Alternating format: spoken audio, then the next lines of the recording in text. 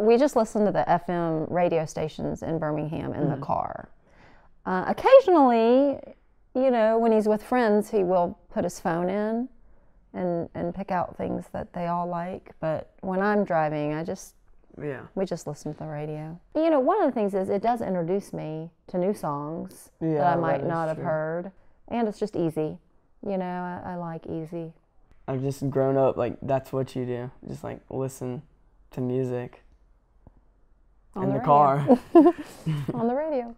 Whenever I'm here, I don't have FM radio. I don't have an app that plays FM radio, so it's just not very often in the car, but often enough that I listen to it a good bit.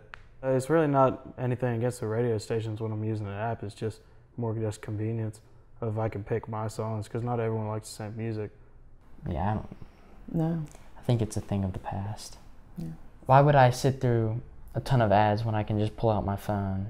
It's easier to just use like a phone or something rather than listening to the radio because it's on my phone. It's the music I like, and when I plug it in and listen to it, like I know what song I'm gonna be listening to, and I know I like the music. I mean, we, I don't know, our aux cord kind of broke, so it's just the radio.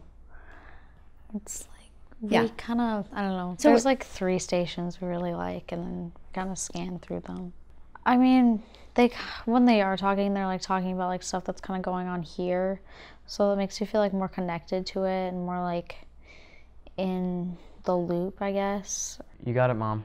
No, this is all This you. is all Oh, this you. is all me? Because I'm curious if you know what AM FM radio is. Uh, it's like you tune it, right? Is that what it is?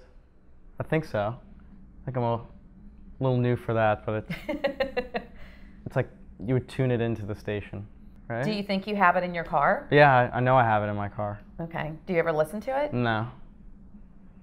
Do you? So you plug in your phone a lot in the car, Mm-hmm. and you're listening to what? Your playlist? Yeah. Fascinating. I never thought of that. I never thought of that. Teenagers don't know what AM, AM, um, FM radio Was is. that pretty close?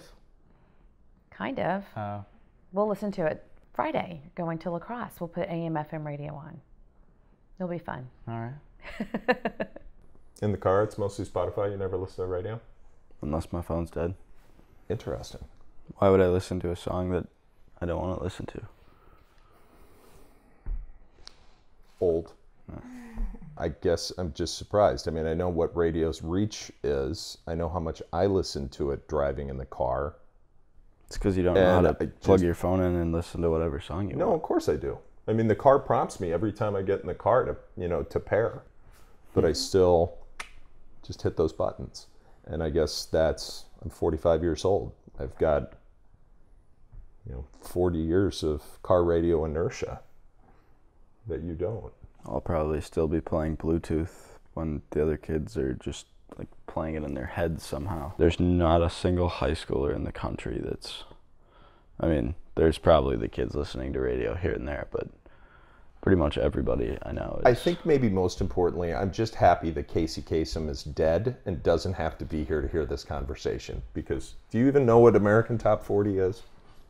No. God bless you.